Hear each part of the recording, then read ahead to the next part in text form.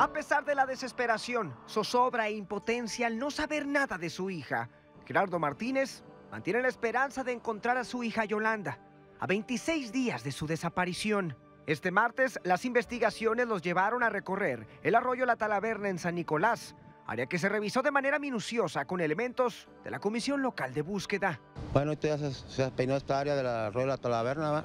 Este, aquí empezamos un, algo de ruta donde se pudo dirigir mi hija. Vamos a ir peinando zonas como arroyos, como áreas como donde está algo montoso, áreas abandonadas de maleza. Posteriormente, el equipo de búsqueda se trasladó al lecho del río Santa Catarina, a la altura de la avenida Adolfo López Mateos. En dicho espacio utilizaron binomios caninos. No vamos a descartar nada, cualquier indicio, cualquier número, cualquier hebrita que sea posible, vamos a, a encontrar algo. Más tarde, la familia confirmó que en ambos recorridos no hubo hallazgos relevantes. Don Gerardo podría ser recibido en las próximas horas por el gobernador Samuel García. Me van a agendar mañana una cita con el señor gobernador este, para seguirle este, pidiendo y exigiendo que me apoye en la, búsqueda de mi hija porque ya son muchos días. Ahorita pues ya me están dando resultados con el personal de diferentes instituciones y pues que se continúe la búsqueda y no me dejen pues como andaba en un momento algo solo.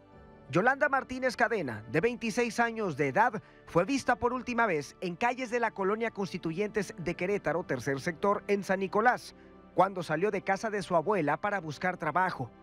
Es madre de la pequeña Keila Fernanda, de tres años, quien todos los días pregunta a su abuelo por su madre.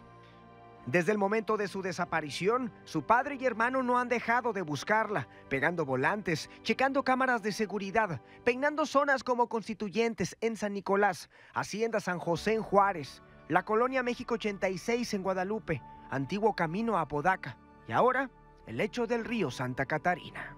Con imágenes de Josué Ibarra, Telediario, Eric Solheim Rocha.